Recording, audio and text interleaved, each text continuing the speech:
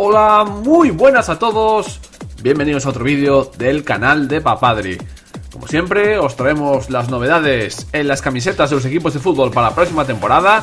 Ahora que ya empiezan las pretemporadas, comienzan algunos amistosos, eh, sobre todo en países internacionales. Eh, qué mejor manera que hacer un repasito de las nuevas equipaciones tanto en Europa como en alguna de América. Así que nada, sin más, os dejamos con las novedades.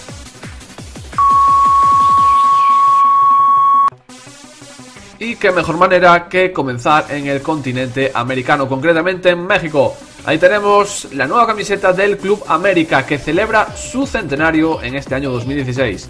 Camiseta de Nike eh, con la tecnología Aero, Aero Swift, aunque ahí no se aprecia muy bien en la, en la foto, con esa publicidad de Huawei, Coca-Cola y ese degradado que va de color crema en la parte del pecho hacia abajo, convirtiéndose en blanco. La verdad es que una camiseta bastante elegante, con ese escudo conmemorativo del centenario del club y esa franja en la parte de los costados, ya eh, habitual en estos modelos de Nike de esta próxima temporada. Pasamos a otro clásico del fútbol mexicano, hablamos de Chivas, que ha tenido una ruptura bastante, bastante contundente con Adidas y se ha pasado a Puma. Ahí vemos su nuevo diseño, eh, y si os fijáis, eh, ha abandonado el sponsor, un sponsor mítico que, que lucía que era Bimbo. Eh, esa empresa tan conocida por todos que abandona la camiseta de Chivas.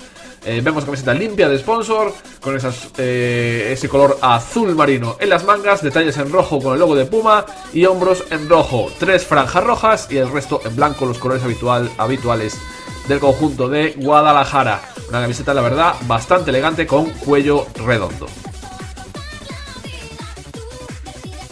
Damos el salto al continente europeo y nos vamos a Italia. Visitamos al Nápoles, que cambia de marca deportiva, abandona Macron y eh, retorna a Capa, que ya hace pocos, pocas temporadas eh, estuvo con Capa también, con esa camiseta con la tecnología Combat. ¿Qué significa la, la, tecnología Combat de Capa? Que es completamente ajustada. Recordar que Capa fue la precursora, la primera marca que hizo camisetas ajustadísimas, prácticamente de licra, pegadas al cuerpo en esa selección italiana hace bastantes años.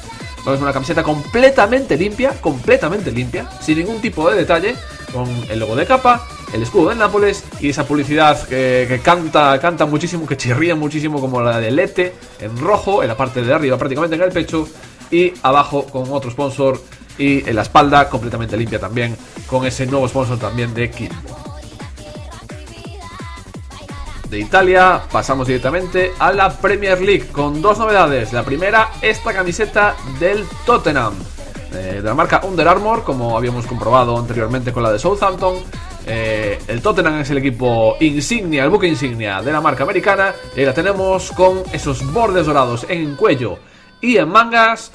El cuello en falso tipo V, eh, falso tipo V, veis que tiene el, el recorte blanco ahí en el medio.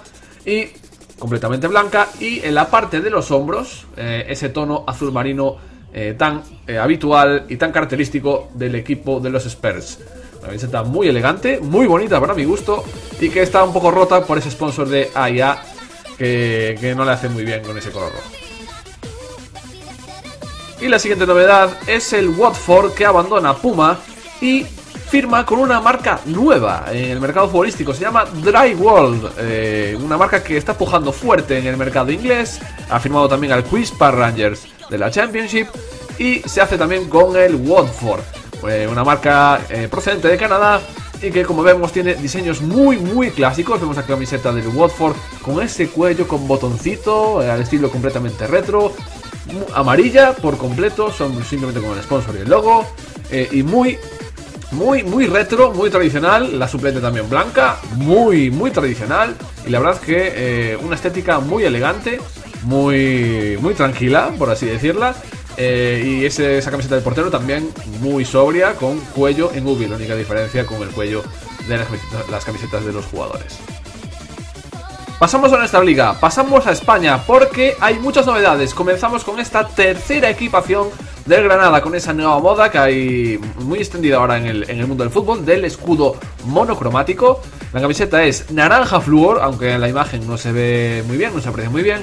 Esos detalles en azul, cuello en V, detalles en, los, en, las axilas en azul, logo de Homa, eh, de la marca toledana y como os decía ese escudo monocromático en tono azul del club Nazari.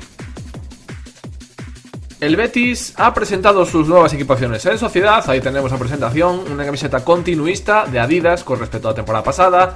Las franjas Adidas en los hombros, eh, no sigue la tendencia de las franjas en los costados, como en otras camisetas de la marca alemana. Vemos como las franjas son un poco más gruesas en comparación con la camiseta del año pasado. Y el verde y blanco típico y clásico del club del Benito Villamarín sin, sin más alardes. Sin embargo, Adidas sí que ha innovado un poquito más en la camiseta de la Real Sociedad, que podemos ver ahí en la foto. Vemos las franjas de Adidas, esta vez sí, eh, con el nuevo template, en, los costados. Vemos dos franjas en, a la altura de los hombros que caen hacia abajo, acabadas en pico. Eh, una, cosa novedosa, una cosa novedosa, el cuello tipo V también, vemos el logo Adidas en azul que se, incrusta un poco en una de las franjas azules que caen en vertical de la camiseta de la Real eh, y el sponsor de Cubao en azul. Eh, una camiseta bastante bonita que me, ha parecido bastante, bastante chula para el conjunto Churi Urdi. No nos movemos de la Liga Española porque tenemos otro conjunto que ha cambiado de marca deportiva. Hablemos del submarino amarillo del Villarreal que abandona la marca china Xtep y firma con la marca española Homa. Y vemos un modelo eh, muy continuista también en la línea general del Villarreal. Eh, vemos un cuello tipo V con algún detallito en negro, eh, yo creo que es negro, o un azul marino si me apuráis, pero yo creo que es negro. La J característica en, en la manga y un bordecito también negro en, en, las mangas también, en el final de las mangas. Muy sencilla, muy sencilla, muy sencilla, muy elegante, muy clásica esta camiseta sin ningún tipo de alardes del Villarreal. Para terminar este resumen, bajamos a Liga 2, a la segunda división, con un conjunto clásico donde los haya el Real Oviedo que abandona a Hummel, la marca danesa, y se pasa a Adidas. Vemos ahí la presentación de las camisetas. Eh, no son. Bueno, vemos que es una imagen. Una imagen de ser retocada por Photoshop. Pero bueno, eh, la primera equipación con el azul clásico. Las franjas Adidas que están en los costados, con el nuevo template de Adidas, lógicamente. Y las eh, suplentes vemos negra con franjas en tonos grises.